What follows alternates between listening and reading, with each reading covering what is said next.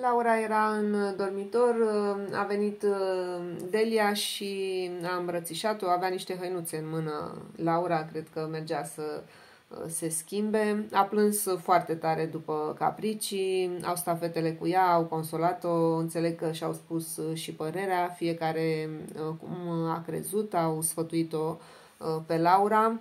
Uh, Delia îi spunea că vrea să-i spună ceva sau să-i mai zică ceva și Laura îi zicea mm, dar de ce nu-mi spui acum?